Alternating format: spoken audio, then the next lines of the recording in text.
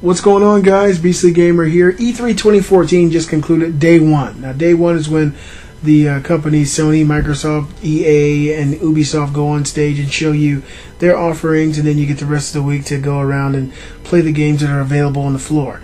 So, I saw Microsoft show this, this morning, and it was really great. I enjoyed seeing a lot of this stuff. I think the one thing uh, with the Microsoft showing that uh, intrigued me the most is the Halo Master Chief Collection, which includes Halo 1, 2, 3, and 4. It also includes every level, every multiplayer map, uh, full 1080p, 60 frames per second. And it includes six revamped uh, Xbox One versions of maps from Halo 2. I don't know if they're going to do more than that. And it's only $60. That right there really intrigued me more so than anything else. A lot of the, the stuff that was being shown for Microsoft was really CGI heavy for me. And when you show a lot of CGI, you're letting people know, hey, look, the game is in development, but you can't take this CG as any representation of what the actual game is going to be like. So we've gotten used to that. I'm kind of used to seeing that myself. And so when I see the CG, of course, I'm excited that the game is in development, but it's a little underwhelming knowing that this, you know, this full motion CG render that you created uh, you could have done this three days ago, or you could have done this a week ago just to, you know, pacify the audience. Sony, on the other hand, uh, did a show that really kind of got my attention, showed a lot of gameplay. Some of the stuff was CG, but a majority of it was actual gameplay. Games like Mortal Kombat X slash 10 showed actual gameplay, and it was the first time that we were able to see it. I'm going to go through the PlayStation list of uh, Sony list, that is, of what they uh, you know showed during their E3 on stage time 90 minutes and the stuff that I thought was really uh, exciting. Now, um, when Sony took the stage, they started off. They hit the floor with Destiny. Destiny. This they spent maybe about five or six minutes, maybe even more, on Destiny, explaining what the story was about, what you can do, how you can leave the planet, and and showing a lot of gameplay. Uh, it looked really exciting to me. Uh, my wife was talking about it the entire time, how much she wants to play it, and yeah, it did. It got me vamped up. I wanted to play that game. It was a lot better than seeing, you know, uh, the the footage that we've been used to, and I was really excited to see it. Uh, so yeah, definitely, Destiny is going to be a big seller this year. They're spending tons of money on it, and I'm sure it's probably going to be one of the best-selling games of the year. Another game that really got me excited as hell is Far Cry 4. Now, um, Far Cry, especially starting with Far, Far Cry 3, has been a top tier AAA title. And Far Cry 4 looks to do the same, if not better than before, because they've implemented this share feature where you can actually invite your friends through PlayStation Network and they don't even have to have the game. So if you got a buddy who has Far Cry 4, he's playing the campaign, you don't have the game, you get a game invite from him you accept the invite and you jump into his game on the fly. Now, if you see this game and saw how it looks, you know, the tropical setting, you got elephants running around and killing enemies. It looks phenomenal.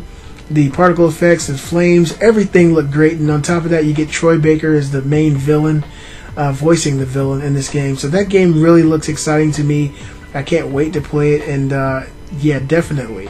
Far Cry 4. We saw another game that blew my mind. I'm telling you now, if you saw this trailer and your mind wasn't blown at the visuals, something's wrong with you. The Order 1886 absolutely blew my fucking mind. Uh, when I saw, you know, I can't even describe it. I felt like I was watching a movie. It looked photorealistic, watching the, the player controlled character walking through the environment. Uh, everything. I was looking at the doors and the windowsills and the walls and the paintings and the chairs. It looked like I was watching an actual movie. And that's when you know you're really there, you're getting there. And then when they, I felt like when this game was first announced in E3 last year, that this game was werewolf centric. Something told me it was something like the film Underworld, that it had some kind of underlying werewolf theme. And today they solidified my thoughts. They showed this scary ass thing, this man eating a person. Then he got up and looked at the protagonist, started to transform and morph into this werewolf and it got scary as hell and, and it looked great and i couldn't believe that it was actually a game that i was looking at i'm really excited about the order 1886 now i've seen the game before It was, you know, it looked good. Now it looks fucking great. There's very few games I've ever seen in my life that looks that good. There's nothing out right now that I could say looks that good. You know, you can name all the games you want, but Watch Dogs even none of these games look as good as the 18, uh, the Order 1886. That game blew my mind. Be sure to check out that trailer from E3 2014 if you haven't seen it, and let me know in the comment section below. They showed some indies too, uh, Broforce, and they showed like a bevy of, of, of indies, and they all were in the 8-bit uh, graphic style, and uh, they look really fun, you know. And I know some of these games are out on PC and haven't been, uh, you know, put on console before, so a lot of people are excited for that. Uh, Sony is showing a lot of love to the indie developers, and uh, I don't think that's going to stop anytime soon. Okay, uh, something that kind of caught us off guard in the house and probably caught you off guard because Media Molecule lied and said they were definitely not going to be at E3 2014. They said they were probably going to go to Gamescom. They revealed Little Big Planet 3. And uh, what can I say about this game? I own it on Vita, own it on PS3, and it's a family favorite. It's something you you know if you if you want to go back to the days of Mario and, and do something in, in that uh, genre of gameplay and expand on it, you go to Little Big Planet. And this Little Big Planet, Little Big Planet 3 looks phenomenal on the PS4. They've added more depth to the level design, so you can actually go forward and back even more than before. It looks really good. There, there are four playable characters, and and the online component of the game allows you to go back and play every online level from the previous two Little Big Planet games. So you can actually go back. I think he said eight million stages have been created. You can play on all those maps that have been user generated on Little Big Planet 3. So this is going to be a huge seller. It's going to be very fun creating and crafting. I want to see just how deep they've gone going past Little Big Planet 2 as far as the things you're able to do in the game and create in the game. I think it'll be great. It looks fantastic. I'm really excited about it. Battlefield Hardline was shown today. This game I'm neither here nor there about it. It looks interesting. It looks it looks graphically just as good as Battlefield 4. Uh, it's a different setting. It's it's cops and robbers type setting. You know, you're a criminal or a police officer, but it is a war zone. You don't feel like it's in the, in the backyard. And you know, there's big set pieces. There are cranes falling and smashing in the buildings. It's more of what you'd expect. Uh, I think it's not a bad idea. You know that they're actually taking the war scenario and bringing it closer to home for people to understand and be able to relate to. If you see a police car, you know who it is. If you see a, someone robbing a bank, you know what it is. So, uh, personally, I'm not too excited about this game. There's plenty of first-person shooters out. Battlefield Hardline doesn't look to take full advantage of the PS4 and Xbox One's graphical capabilities. So until I see more, something that'll get me really excited, uh, I'm I'm indifferent for that game. Something that did get me super excited today was Batman Arkham Knight. Now, this game was revealed uh, for the PlayStation 4. They showed actual gameplay footage for the first time. And I think Sony's E3 performance was phenomenal. I, I think that they kind of slowed down when they started talking about the PlayStation Now and uh, PlayStation TV and, and the PlayStation TV show that's coming out, Powers. When they started doing all that, I kind of got out of the funk a little bit because they were going hard. They were hitting them, hitting them, knocking them out of the park, and then they stopped. But with Batman Arkham Knight, when I saw that game and you saw Batman put on his suit and go to the edge of his uh, his skyrise apartment slash condo and look at the city, it was huge. It was amazing. It looks gigantic. I don't know how much of that you can actually traverse, but seeing him traverse it, jump off that building, skydive down, and glide around to the Batmobile, get into that, drive around and pull out the turret out of his Batmobile and turn his Batmobile into a, a moving tank. That game looks insane. It looks ridiculous. You get uh, Scarecrow DLC for PlayStation only that game is truly next gen graphically. I can't wait to play it. The whole house is truly excited about it. If you guys saw it, let me know what you think. That Batman Arkham Knight looks sick. That shit is hardcore. Another game that got me super excited was a game called No Man's Sky for PlayStation 4. Now, this game was created by the team behind Joe Danger, the uh, little racer, the guy who drives a motorcycle that came out on PS3 and has been out on PSN. So it's a small studio.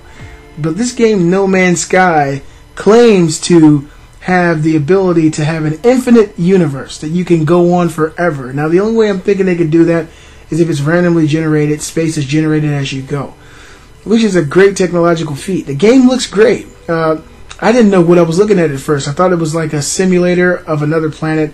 You know, you're taking pictures of other animals, and then all of a sudden he went around the corner, got into a ship, and took up took off the planet. Uh, and in real time, he left the planet. Then he was in space, and you saw these ships teleporting and coming into to, to view. You're firing on the ships, and you fly and land on another planet in real time. That alone is something that we haven't been able to do before. Not not that I've ever been able to remember, and uh, that really is exciting to me. So No Man's Sky is another game I'm looking forward to. I want to see what they're able to do with it. I think that the the idea is phenomenal, uh, and whether or not they're able to pull it off and make it an engaging, uh, exciting experience, uh, that's something to to watch for. Another game I was really excited to see today was Grand Theft Auto 5. Now we know that the game is not out on anything but the 360 and the PS3, but today it was announced for the PlayStation 4. Now, when I first saw the announcement and I was looking at the landscape, I didn't know what game it was because it looked so damn good. I thought it was just a new IP. I didn't know what was going on. And then all of a sudden, I saw the protagonist and I saw recognizable landmarks, and I was like, shit, this is GTA 5. Grand Theft Auto 5 looks phenomenal on the PlayStation 4. It looks sickening how good that game looks. And if you're a GTA 5 fan, I'm pretty sure that you're looking forward to it coming to the PlayStation 4. And one of the things that blew my mind about this news was when you bring it to the PlayStation 4, if you previously owned it on the Xbox 360 or the PS3, you can transfer the data to the PS4. Yes, you heard me right. If you own this game on the 360 and you want to transfer your, your online information to the PS4, that is doable. So that's sick. Never, I think, in history have we been able to do that with a video game console, especially switching from one generation to the next generation's competition. So, you know, that's awesome news. It's sickening news. Mortal Kombat 10, or X, whatever you guys want to call it, was shown today. Uh, graphically, it looks really good. I was completely, uh, you know, I was taken aback by it. It looked great. Uh, I'm a big Mortal Kombat fan. It makes me feel good to see the old click together. But the thing that kind of got me excited was seeing these new characters. Uh, I didn't catch the name, but there is some new characters. A little boy on top of this giant brute, and some chick that has tentacles. I mean, it looks great. The game looks fantastic, and um, what more can you say? It's Mortal Kombat. It's time to get bloody and get visceral and do some fatalities, and it's coming to the PlayStation 4 very soon. So look forward to that. I want to talk about The Last of Us. They showed The Last of Us today on PS4, and it was good and bad to me. I don't know if I'm the only one who felt this way. When I saw the, the Last of Us on PS4, I did not get the sense that it was a PlayStation 4 game. Maybe it's because the PS3 cutscenes were so, done so well that when you see them redone on the PlayStation 4, it's hard to notice. But I really didn't notice it. Um, and I had 20/20 vision. I can see you. Okay. I just didn't notice it. To me, it didn't look that great. I mean, it, looked crisp, it looked clean, but for me, I could attribute that to a, a really nice TV. It didn't look it didn't look like GTA 5 did. GTA 5 actually showed in-game stuff. And so when you show nothing but a cutscene and cutscene and cutscene and cutscene and say, well, this is the game for the next gen, you really don't get that experience. And I think that's kind of what they did with The Last of Us. They showed a whole bunch of different cutscenes.